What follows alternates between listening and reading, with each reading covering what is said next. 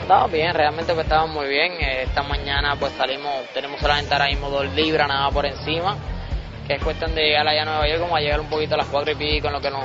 acomodamos, en lo que vamos al hotel, pues nos va un poquito tarde para entrenar, pues vamos a correr, hacer quick, un poco de sombra, y ya mañana pues entonces iríamos al gimnasio que tenemos entrenamiento en vivo para la prensa.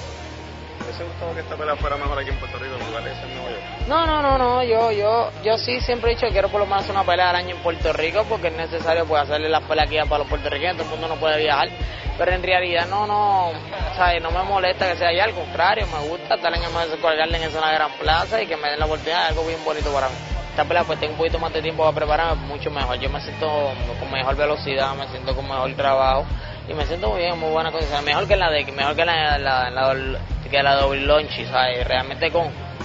con Peñalosa Tano al 100, aunque todavía un poco feo, están al 100, pero con Lonchi, Oliver Lonchi no están muy bien, esta vez pues sí me siento mejor. Y tal vez en esta ocasión pues me vean boceando un poquito más a la media distancia, porque el, el peleador lo requiere. Pero va a depender de lo que pasa en un asalto, yo salgo, le doy y veo que puedo ir arriba y acabarlo rápido, pues lo hacemos también.